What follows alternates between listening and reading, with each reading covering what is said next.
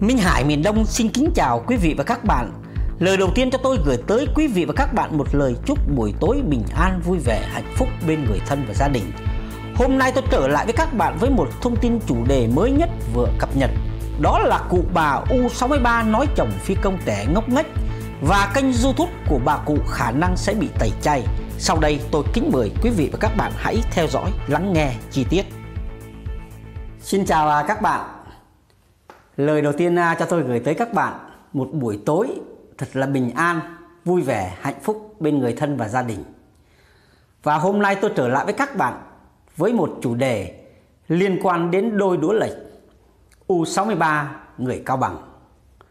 Vì chủ đề của những đôi này là chủ đề muôn thuở, lúc nào cũng có chuyện để cho chúng ta ngồi chia sẻ, bóc tách ra những điều phải, điều không phải, gửi tới cho các bạn để thư giãn sau những ngày làm việc mệt nhọc. Và ngày hôm nay tôi sẽ gửi tới các bạn chủ đề của là cặp đôi đũa lệch người Cao Bằng này rất là thú vị.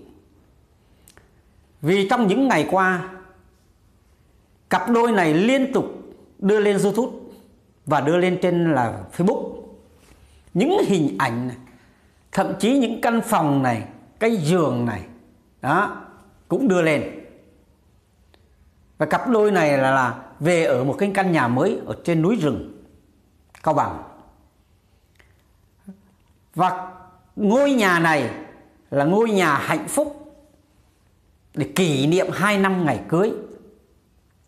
Công nhận đây là một chuyện tình lâm ly bi đát ướt át như trời mưa và chúng ta lúc nào cũng có chuyện để nói cái cặp đôi tai tiếng này.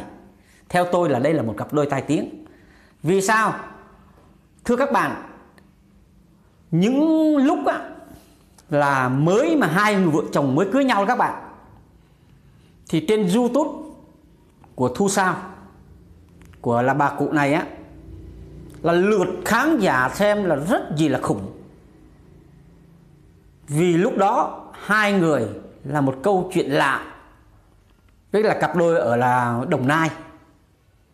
Cho là quý vị và các bạn thấy là rất lạ và mọi người cộng đồng mạng là chú ý rất nhiều.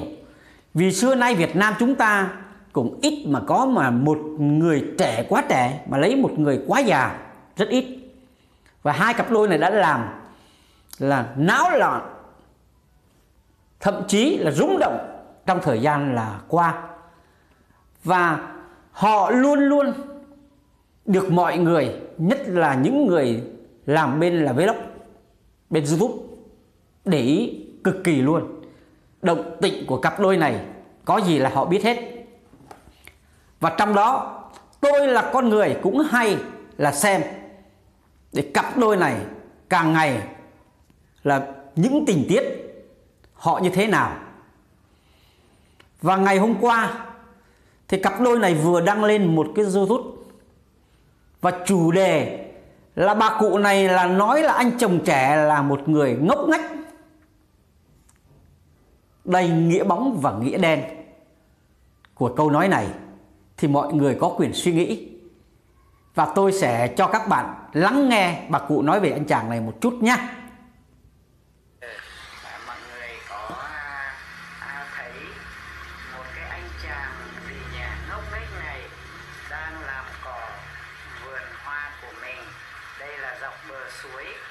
còn hoa thì mình chăm thường xuyên thì nó không bị rậm rạp như thế này. Còn cái này là à, đã à, mấy tháng trời rồi mình không chăm.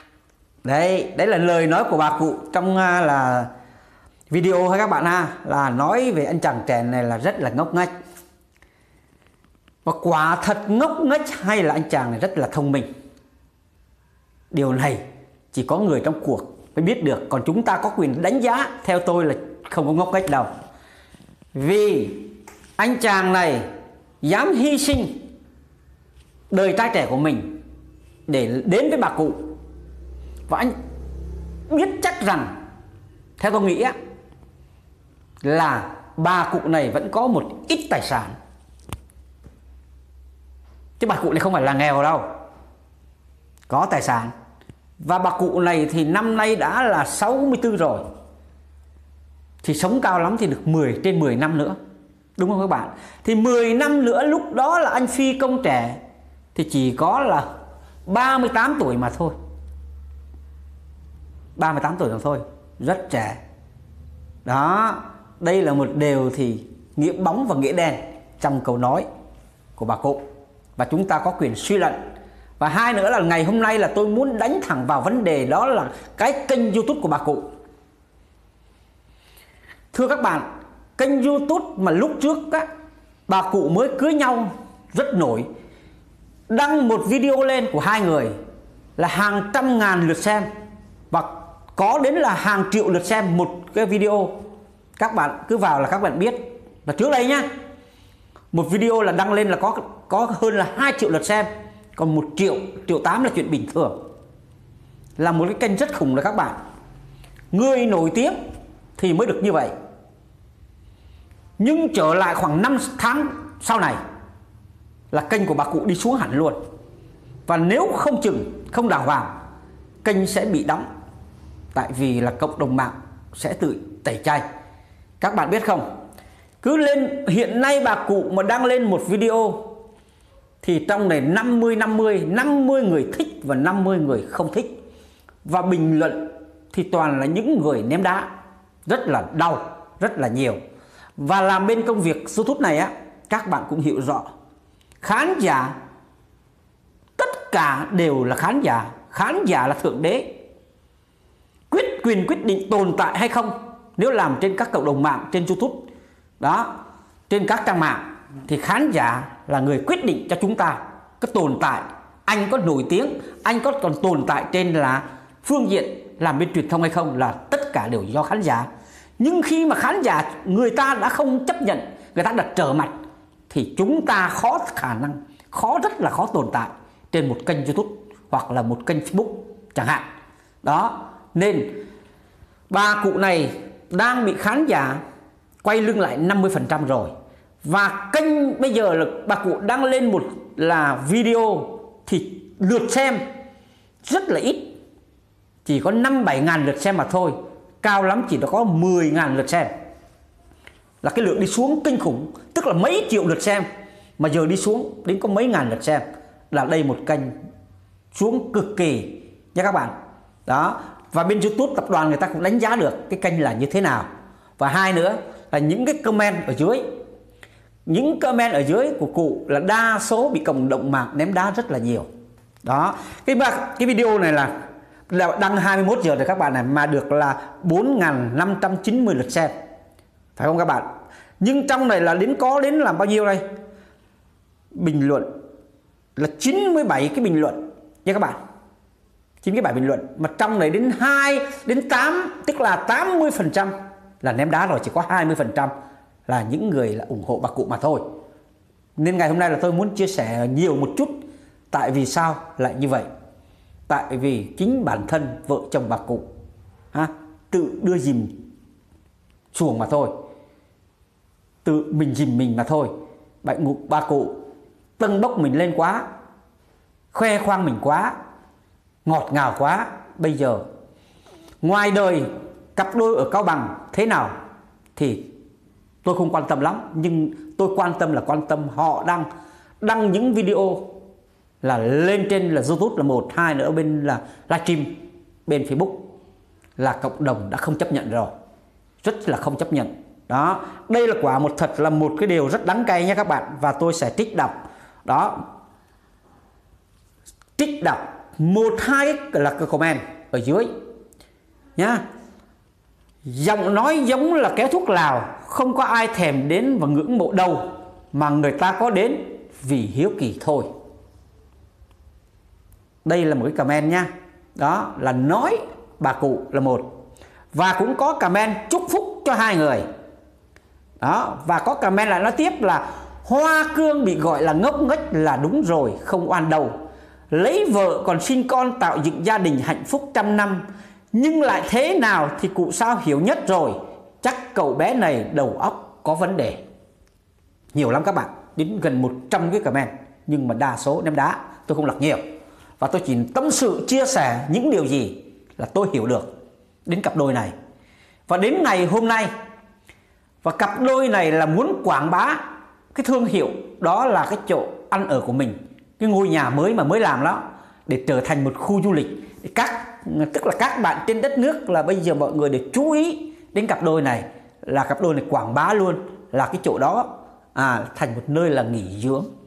Đó và xây hòn năm bộ khắc tên hai người lên là bia đá. Tức là mấy ngày này là cụ là đưa lên liên tục nhổ cỏ nhặt rau cái gì ở khu vườn đó là cụ đều là quảng cáo lên ha. Nhưng mà cụ là không biết cụ vào xem ở trong trang cá nhân hoặc là trên cái kênh youtube của là cụ hay không. Nếu xem thì cụ đọc những cái lượng khán giả comment là một hai là những cái lượng người không thích là hai thì cụ sẽ hiểu cái kênh cụ à, youtube của cụ là chuẩn bị là khả năng không tồn tại. Đó là để cho đều chắc chắn. Đó tại vì tôi nói riêng đây là cụ là 63 người có bằng thôi còn cụ 65 đồng nai cũng cái kênh chuẩn bị cũng như cái kênh này luôn. Không? Một thời gian trước họ kiếm tiền trên cái kênh youtube rất là nhiều khủng luôn các bạn. Tại vì các bạn tính đi cứ nghĩ đi hàng triệu lượt xem. Và một triệu lượt xem là tương đương gần 300 đô la à, một cái kênh. Mà họ đăng lên một video là một triệu đến 2 triệu lượt xem. Họ kiếm tiền rất nhiều trong những tháng trước. Nhưng cái kênh của họ tự nhiên họ tự làm dìm chìm cái kênh là youtube của họ xuống luôn. Rất là uổng rất là đáng đáng tiếc ha? Nhưng đáng tiếc thay đó là họ có tuổi rồi. Ha? Mà họ làm những cái trò lố bịch. Họ làm quá, họ đưa lên quá, họ nâng bốc cái mối tình của họ quá. Họ làm giống là trên thế gian này, là chỉ có họ là vợ chồng mà thôi. Và họ tự hào họ lấy được chồng trẻ. Nhưng cái điều này tôi nói thật với các bạn, thời gian sẽ trả lời. Rồi họ sẽ biết và sẽ trả giá những cái điều mà mình tự mình nâng mình cao quá.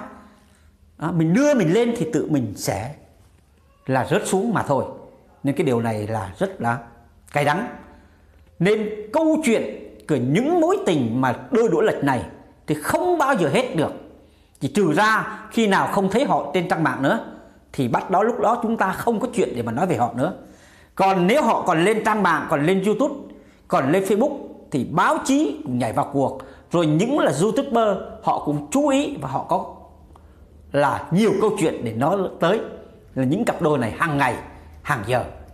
Đây là một vấn đề mà ngày nào là mọi người cũng rất thích thú để xem. Đó, họ thích thú để xem là vì tò mò, thấy nó là kỳ kỳ. Chứ họ xem chứ không phải là họ xem thấy nó vui vẻ hay ho gì đâu. Và họ, đây chỉ là một cái cái để mình giải trí mà thôi. Ừ. Và cặp đôi những cặp đôi này thì làm cho có chuyện cho những người là làm du youtube để họ nói họ đưa lên để phục vụ lại cho những người là khán giả. Đó, làm việc mệt nhọc sau là những ngày lao động. Và đến đây thì tôi cũng tạm dừng video lại và tôi cũng cập nhật thường xuyên để đưa lên cho các bạn xem những thông tin thú vị hay nhất của những cặp đôi đũa lệch này và tôi chúc cho các bạn là có một buổi tối thật là bình an, vui vẻ, hạnh phúc bên người thân và gia đình. Và tôi cũng rất chân thành cảm ơn các bạn luôn luôn đóng góp ý kiến, ủng hộ và đăng ký kênh cho Minh Hải miền Đông.